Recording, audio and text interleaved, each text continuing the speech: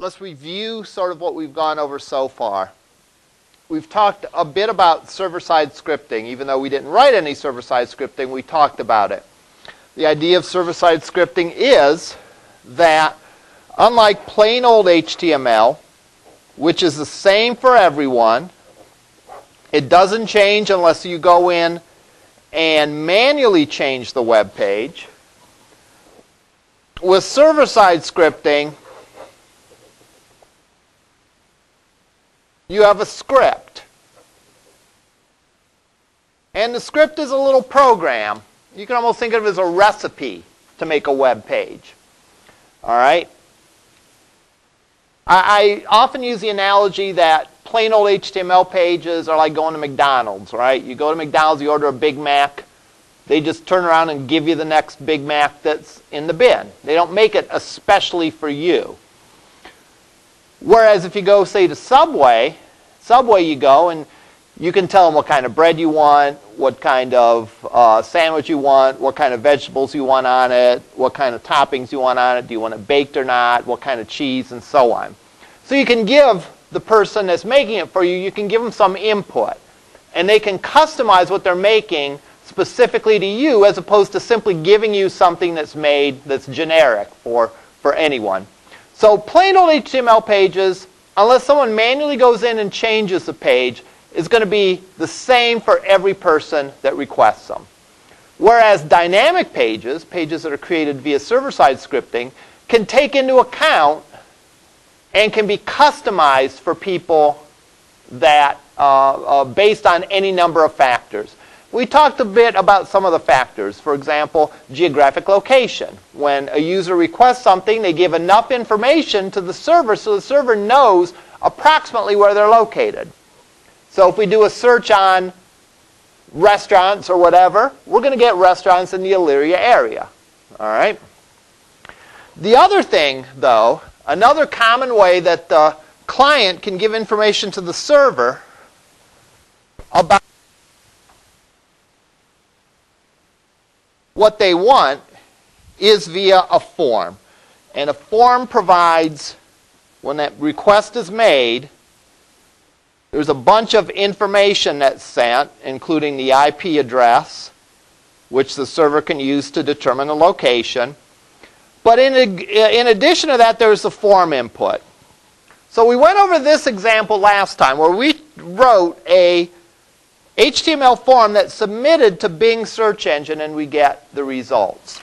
So, we go and view this page, enter the search words. We search for Cleveland Browns, seems appropriate for today, and click submit. We get sent and our search is for Cleveland Browns and we can see, oh look, they're in first place. Isn't that isn't that wonderful? First time since 1994, yeah.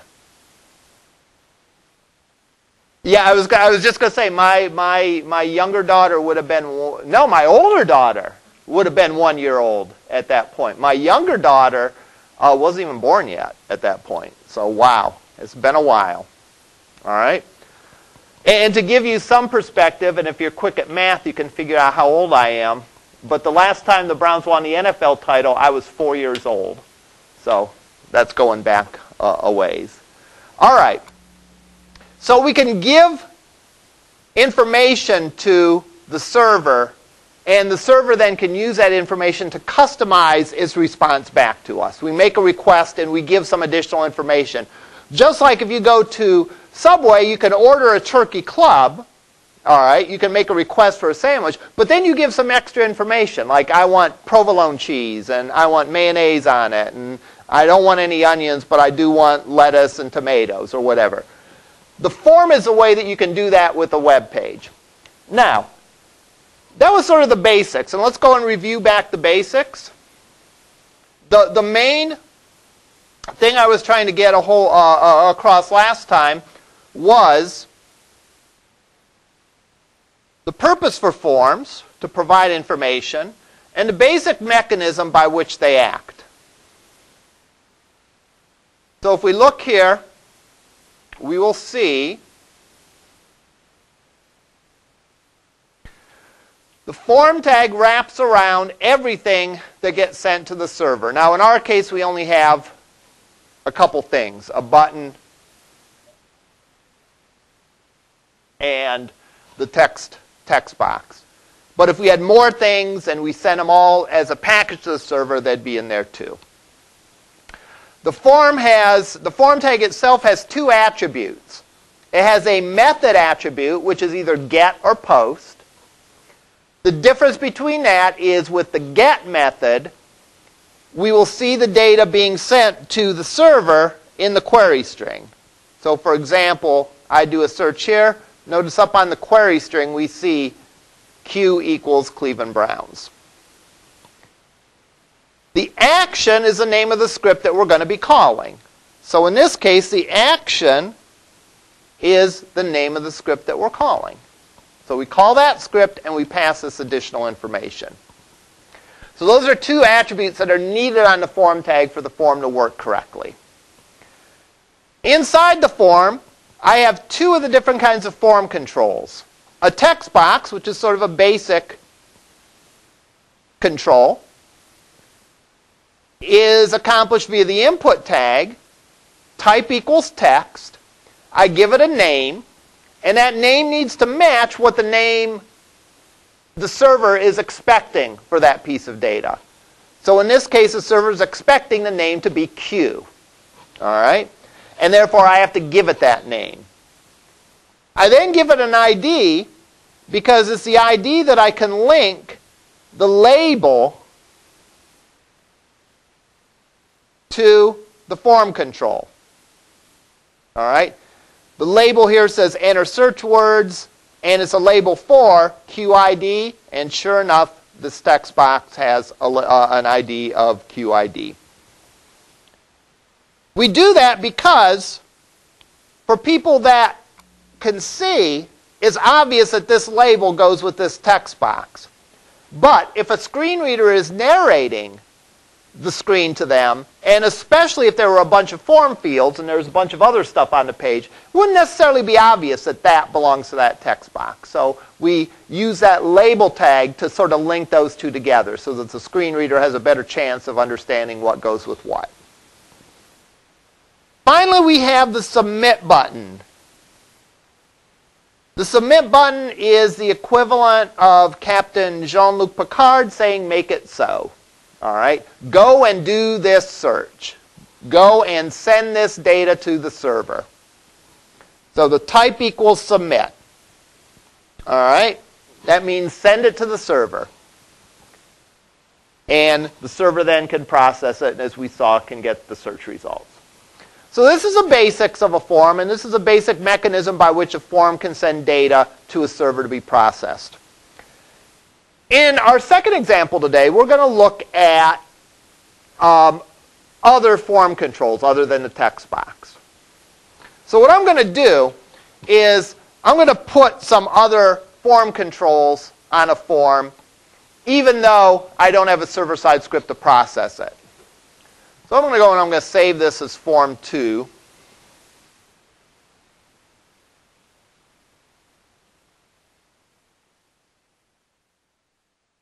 and I'm going to um,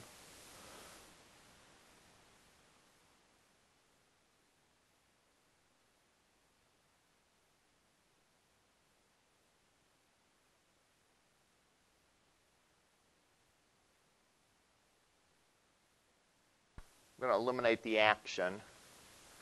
If you eliminate the action, the page sends the sends the uh, um, sends the data back to itself, which is sometimes done. So I'm going to make a form where maybe we could enter in information about a prospective student. All right?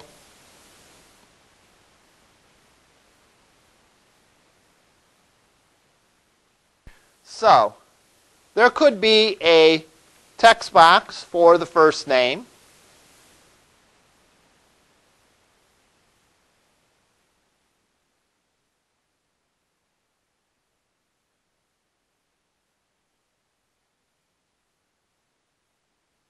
and a text box for the last name.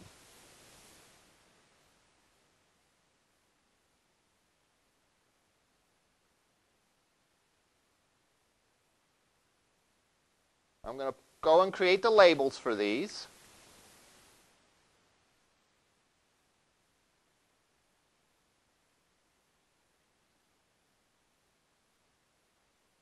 Notice that many form elements will have both a, uh, uh, a name and an ID. And they're both needed because they serve different purposes. And we'll, we'll see an example of the different purposes they portray when we look at when we look at like a radio button.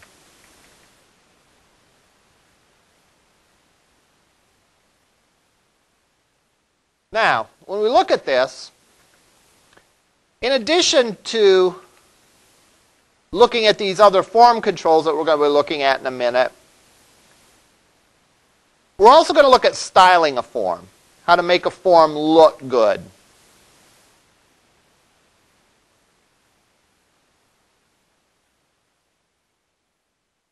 So here I'm going to start out with just two text boxes, a and two labels and a submit button.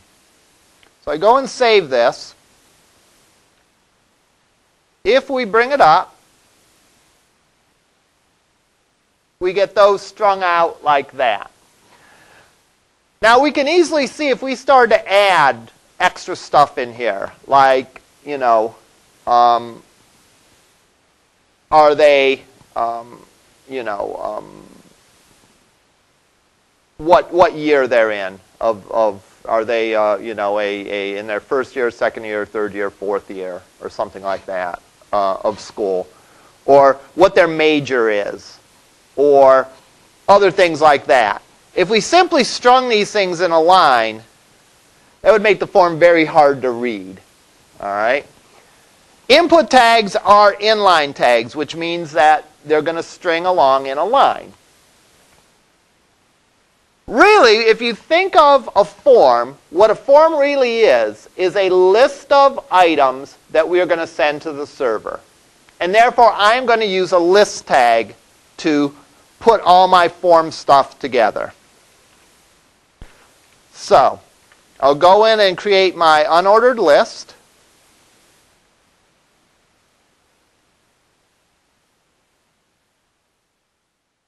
And then each piece of this form is going to be a list item.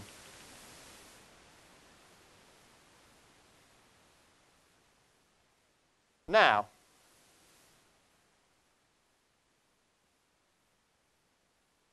it may not look pretty at first, but we'll do something to make the styling look better.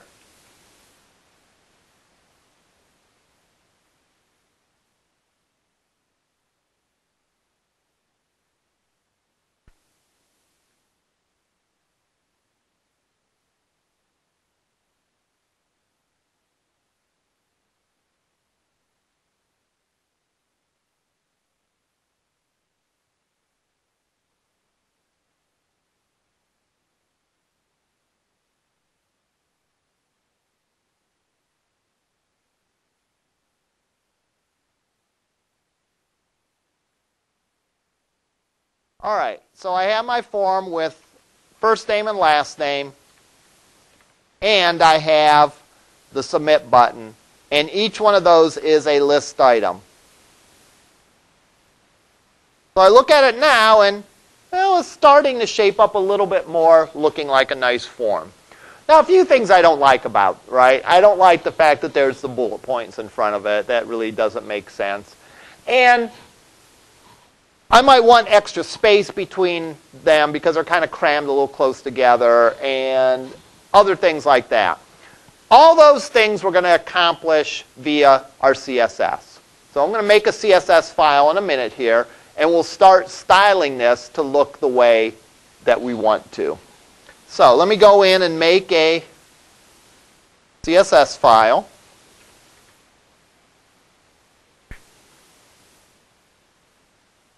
And I'll go in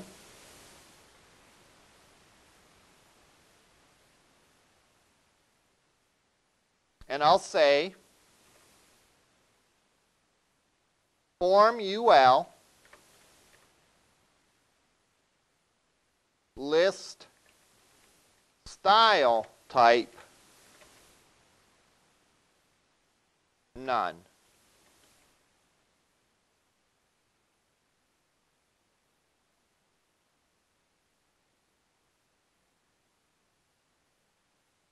Lorm. Form li margin bottom 5 pixels. So, what does the style rule say? Form UL says UL's within the form tag. So that's a selector. So if I have other UL tags on the page, this selector is irrelevant for it. This is only relevant for the ULs within the form tag. And I'm saying list style type, that is, do I want a bullet point or something else? I'm saying none. So I don't want any thing next to it. So I'm going to get rid of the, the, the bullet points. The other thing I'm going to do is uh, for form li, I'm going to put a margin underneath each li of 5 pixels. So let's go and let's save this.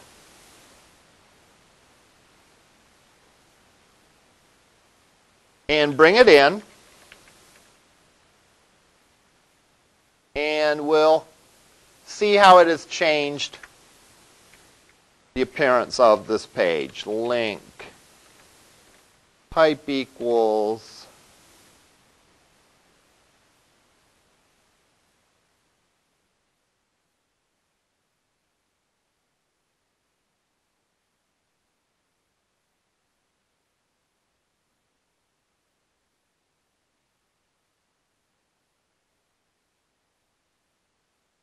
All right, think that should be right. And let's look at this again. All right. And so now we're starting to look a lot more like a form. Now let's put in another one for phone number. All right. So I'm just going to copy this. Didn't want to cut it, but that's okay.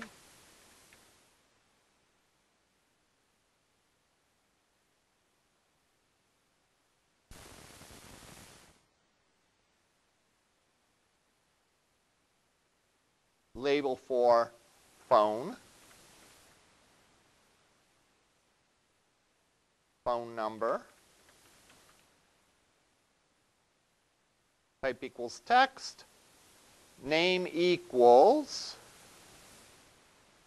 phone, ID equals phone ID. Now if we look at this, we'll notice that now this is starting to look a little sloppy.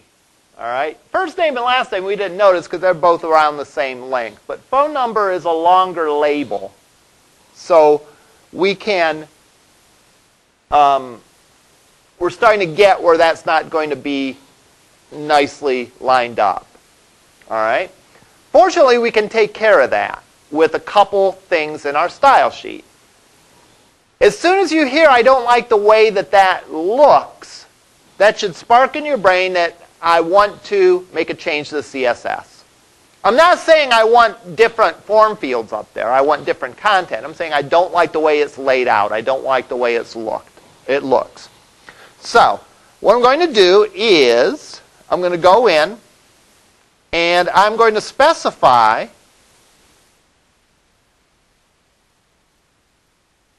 label tags to have a width of 100 pixels.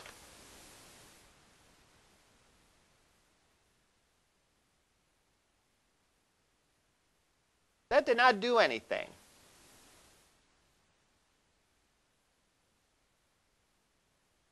Even though I saved it. Why did that not do anything? That did not do anything because a label tag, as I said before, is an inline tag. And certain properties in the box model only apply to block tags. So how do we fix that? Well, we say that our label, we want to treat as an inline block tag. Essentially, that means that we want to treat it like an inline tag, but we want it to have some of the attributes that are only available on block tags. And now when we do it, notice that it pushed that out so our text boxes are in nice alignment. Now,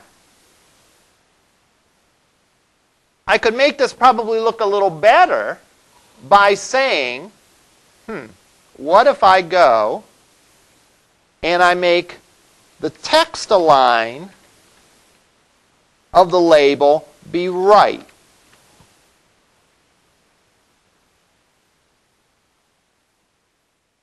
Then I have a nice little margin for this and a margin for that. And I think that's a good way to do a form. Now, I don't like the submit button there. So what I'm going to do is I want to center that submit button. But just that submit button. So what I'm going to do is I'm going to put an ID on this Li.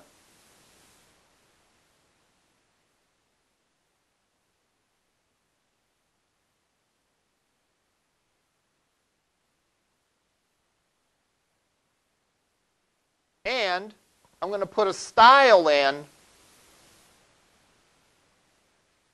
just for that ID. Now I'm going to do it wrong at first, all right? And then I'm going to do it right. So leave some space if you're taking notes on this, because I'm going to say text align center. We're going to leave some space after that, because there's more stuff I have to put there to make this to work. So I go and save that, and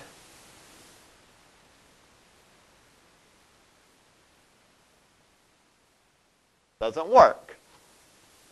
Did I save it? Yeah, I saved it. Doesn't work. Any idea why that didn't work? I must have known that it wasn't going to work, so I did it on purpose. I said that intentionally because it's a Monday morning, and if I didn't say that intentionally, you'd say he's losing it. All right? It didn't work because, well, let, let me back up and rephrase it. It did work. It just didn't work the way that we expected. All right? Hmm. Let me go and let me put a border around that.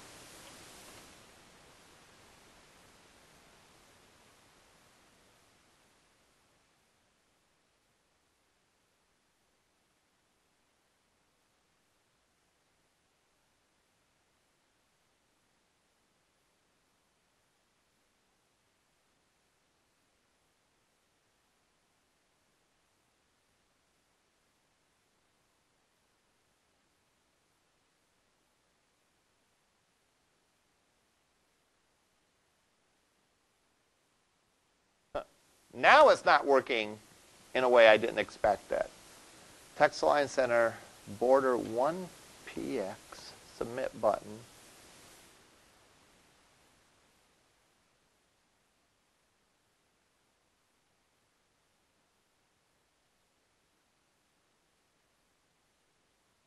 Ah. I stand corrected.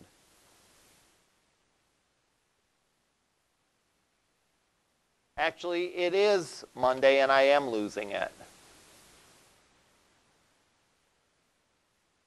All right, that's how it looks. There you go. Now, that isn't the way that I would want it to look. I'd want it to be closer over here. So what I could do, remember, an LI being a block tag goes extends all the way across the page. So therefore, what I could do is do a text align left and maybe give it a left margin and say margin left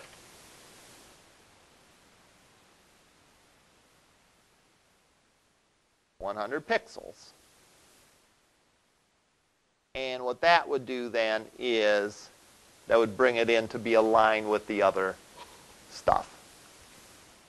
Maybe if I want to put a little more distance between that and the other form controls, I could go in and say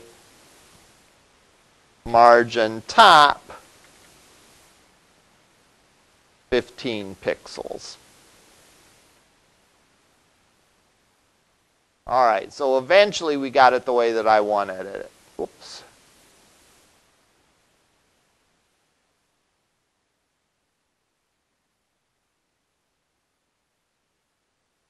All right, eventually we got it the way that I wanted it.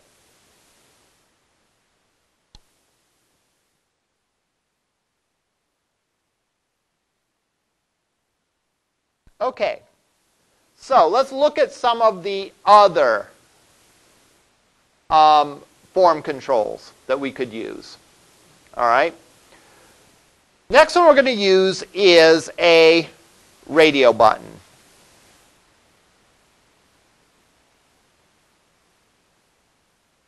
So I'm going to go and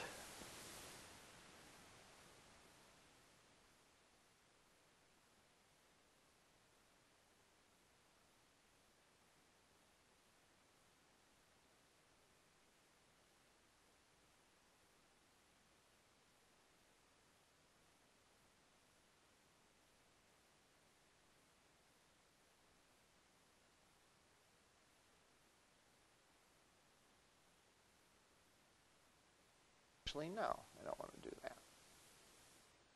We'll come back to the label in a second.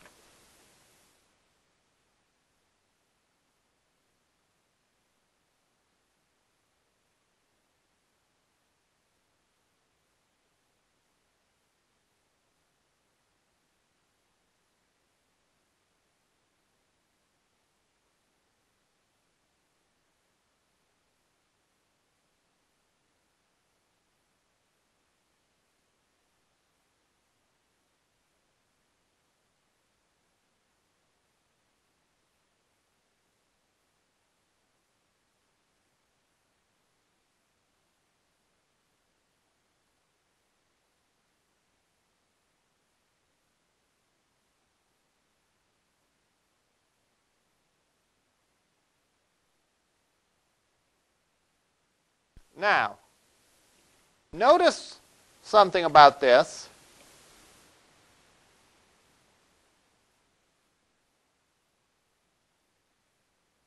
I've given each of these the same name. And that is not a mistake. The fact that they have the same name, in this case year, is what makes this a radio button and makes it work so that if I click on one, it unclicks the other. So if I go and look at this, oops, I'll see my four buttons. Now there's no label on them yet because I said I was going to hold off the label for a second. But notice that they work as a group. So I cannot possibly click more than one. If I click one, the others click off. I do that because I've given them all the same name. If I were to, to give, let's say, the last one a different name,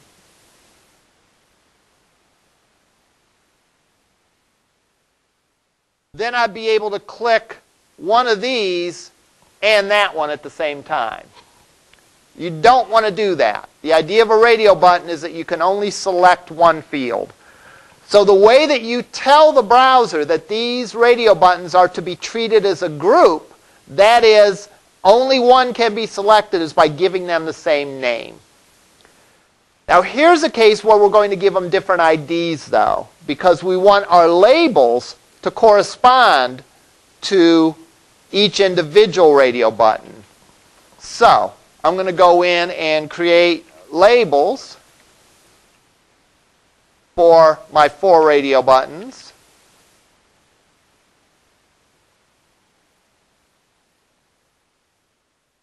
and I'm going to give each one of them their own ID.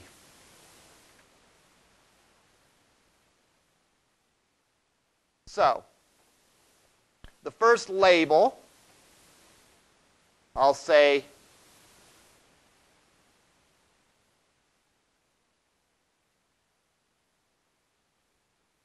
label for freshman ID.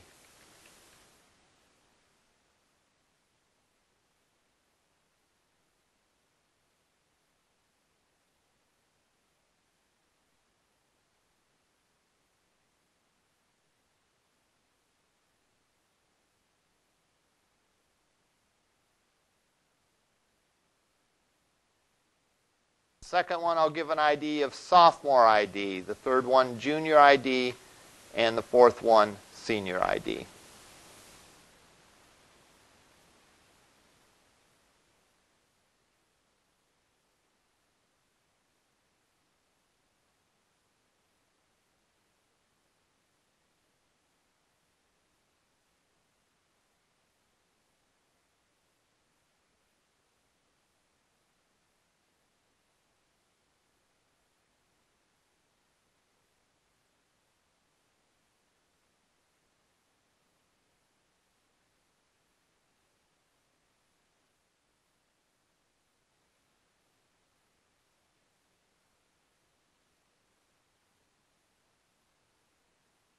So in a nutshell, the names can be the same because the names for a radio button is what ties the radio buttons together.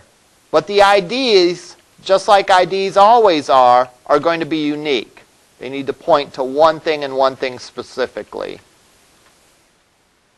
So now we have this and we have our freshman, sophomore, junior, and senior radio buttons.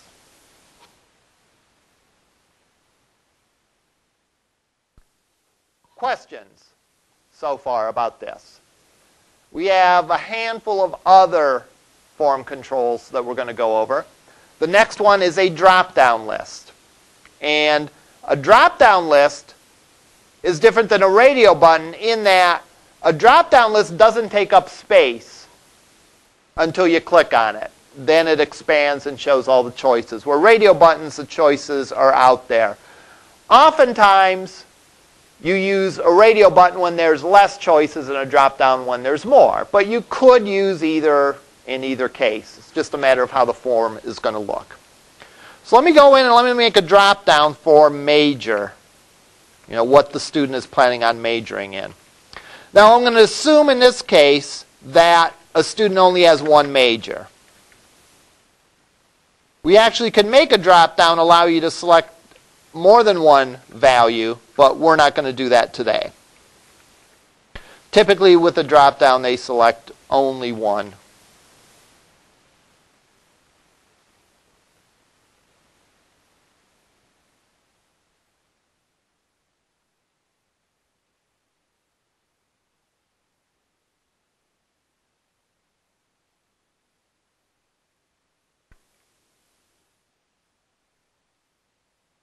Now, the drop-down is a form tag that doesn't use the input tag. It uses something else.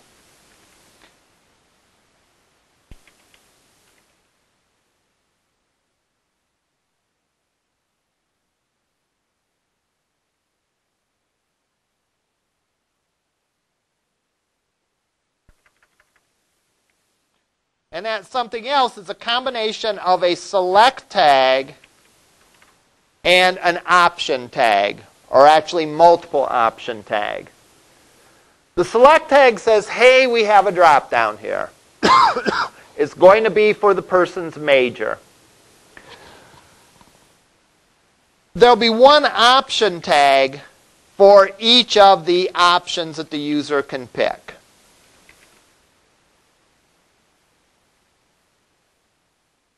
And I'm just going to put a couple of them in here. But you know that really, if you're going to do a, a real drop down for here for LC, there'd be a lot of majors. Because there are dozens of majors, dozens of things that you can major in.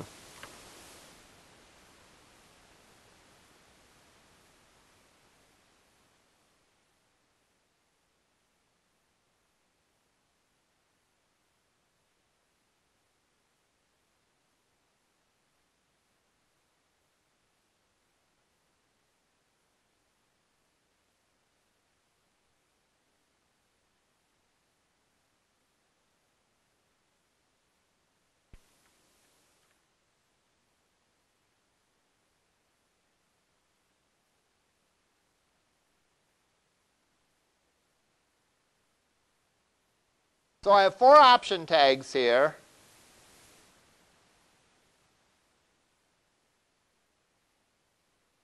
That means my dropdown is going to have four options on it. I have four option tags. That means that there's going to be a list of four things in this dropdown. They're all grouped together and they're all called major. So if I select this, it gets saved under the name or it gets sent under the name of major. And I made uh, some bonehead mistake. Let's see.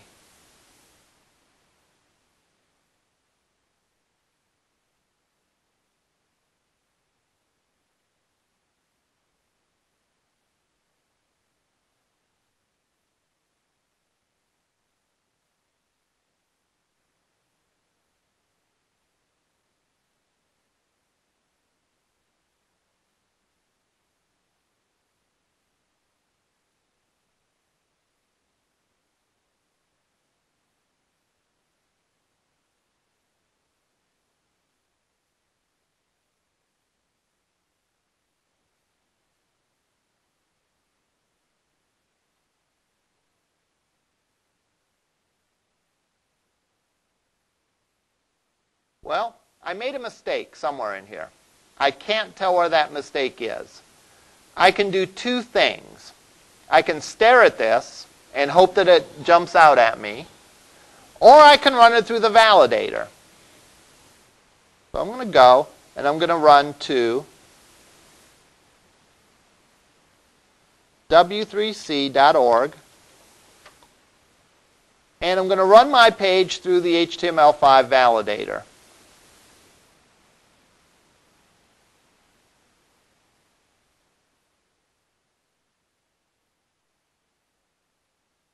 Tells me that has 14 errors.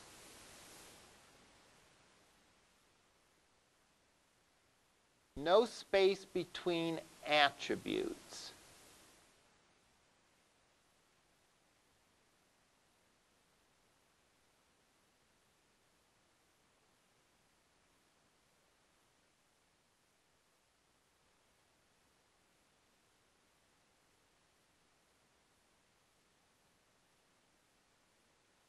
Ah. Wow, this is good. Anyone see my error? I have to confess that in this case, the validator doesn't give me much information.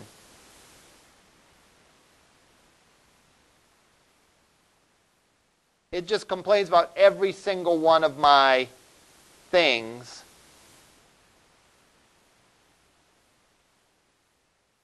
Interestingly enough, the problem is I forgot a quote here. I didn't notice that either until I ran it through the validator. The validator really was confusing what it was telling me.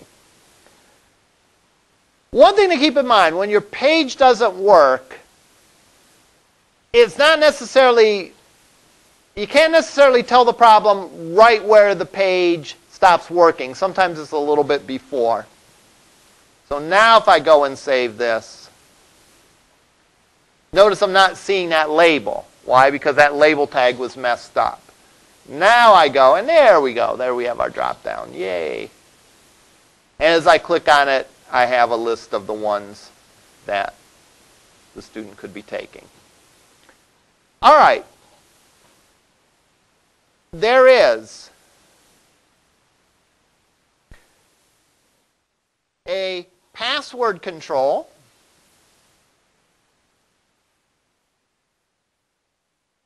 Like if you allowed the, the student to pick their own password.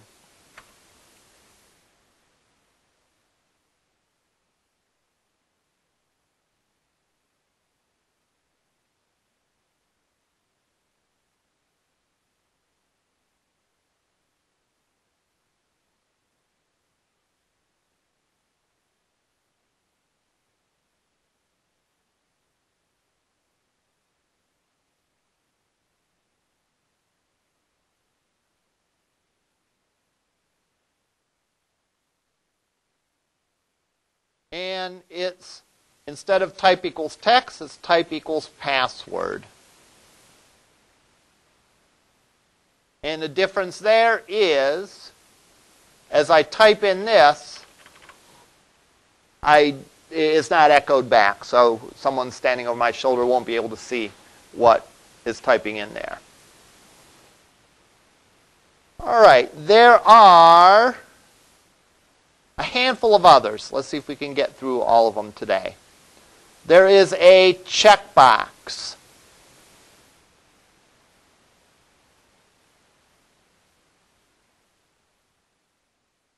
A checkbox is for a yes or no question.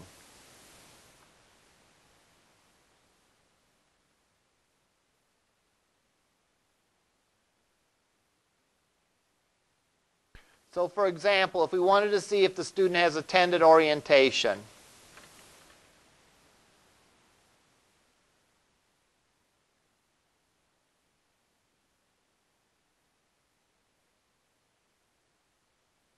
Type is checkbox.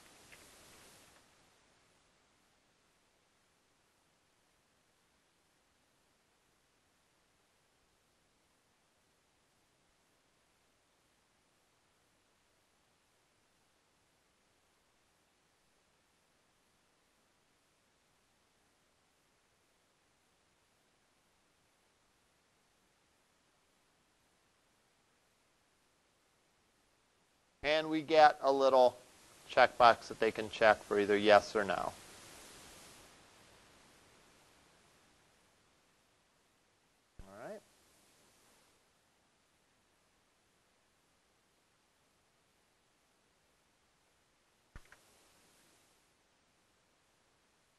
Last one is a text area. A text area is different than a text box in that it is multiple rows. So something like first name, last name, that would be a text box because typically that would be just a one-liner. If you wanted to give the user a place to put comments in,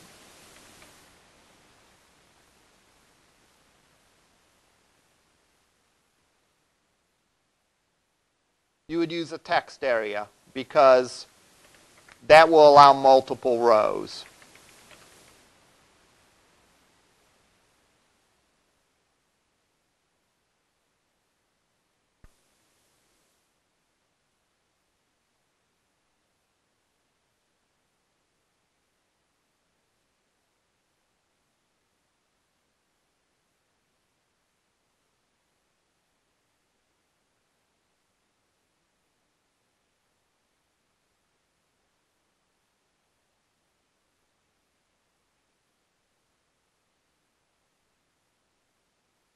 So there the comment field is a free-form box that you can have that. And you can expand the size if you want to.